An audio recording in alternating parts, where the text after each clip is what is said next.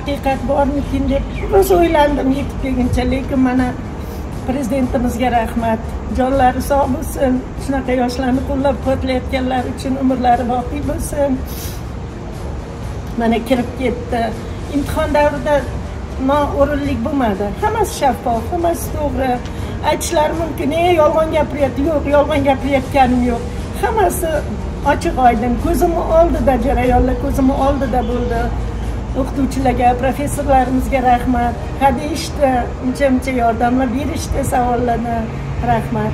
Mana mana shu prezidentimizni chiqargan qarorlarini juda yam hurmat qilgan holatda ishonardim. Mana shunaqangi halol va shaffof bo'lishiga man yuz foiz ishongandim. Biza mana hozir imtihondan chiqdi qizim. Mana xudo xohlasa o'qishga kirdi hammasi haqqoniy suhbat bo'ldi. Mana prezidentimiz aytgandek shu texnikum bo'lib texnikumni bitirib e, ikkinchi kursdan kirasan degan qaroriga muvofiq e, shu qizim o'qib shu yerda mana yuksaklarga yetib xudo xohlasa mana mana shu tibbiyot bo'limini davolash bo'limiga kirib ketdi iloyim hamma bolalarga ham hamma yoshlarga ham omad tilayman yangi yil aholilik meditsina jamoat salomatlik saqlash texnikumini uchinchi kurs talabasi bo'lib bitirdim haqiqatdan e, haqqoniy hammasi hammasi haqqoniy. Lekin rahmat shunchalar qilganingiz bo'ldi boshqa narsa yo'q to'rtta savol berishdi. Har bitta savol yigirma balldan bo'ldi. Ya'ni hamma savolga javob berganlar ya'ni прокатной ball oltmish yetti ball bo'ldi. Lekin man oltmish yetti ball yig'a olmadim. Но bo'lgan imtihon suhbati shaffof o'tdi. Hammaga rahmat. Сегодня я прошла вопрос собеседования в тма и получила оценку 80 баллов. Shunaqa shaffof bo'lishi uchun youtube kanaliga translyatsiya qilyapmiz saytlarga translyatsiya qilyapmiz.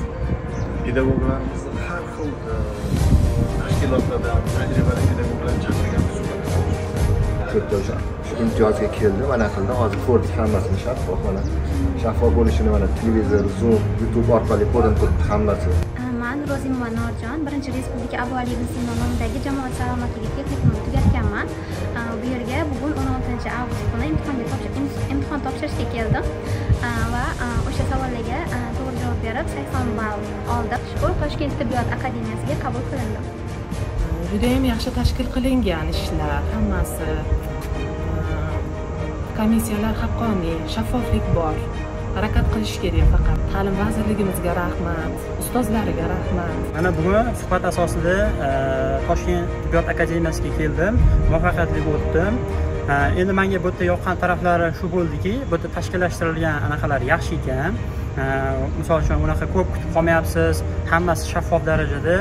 Hammasi haqqoniy bo'lyapti man juda yam xursand bo'ldim. Men ibratbekni onasiman.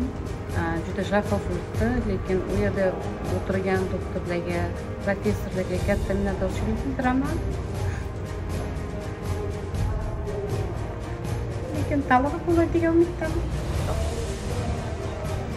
Только что прошла собеседование, набрала 95 баллов, все было открыто. hakamlarni haqiqatdan haqqoniyligini ko'rib e, ularni o'zgacha yondashishini ko'rib va bu yoqda qilingan sharoitlarni ko'rib men e, o'zi o'zimdek xursandman. Hozir yetmish balo olib talabalarga tavsiya etdim. Ularni kutib olishi e, yaxshi muomalada bo'lib menga savol berishlari va va omad tilab chiqarib yuborishdi. Men bundan judayam xursandman. Сегодня я пришла э, на собеседование в Ташми. Прошло отлично. Э, все жюри э, по-честному ставят баллы, задают вопросы. Очень классно. Атмосфера тоже все хорошо. Спасибо большое. Вы поступили? Нет. savollar juda yam oddiy o'sha texnikumimizda o'tilgan darsliklarga o'xshash o'xshash savollar tushdi Нет, я не поступила, не смогла. А сам процесс, как он организован? Очень классно. Очень понравилось мне здесь.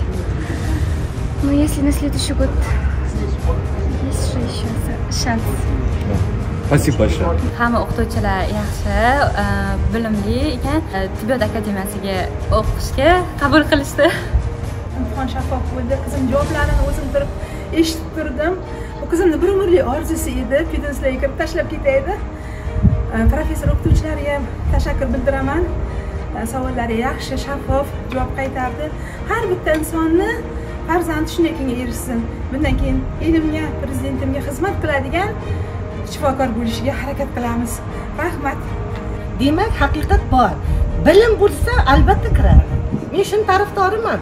O'qisin bilimli bo'lsin kelajakda chiroyli shifokor bo'lsin.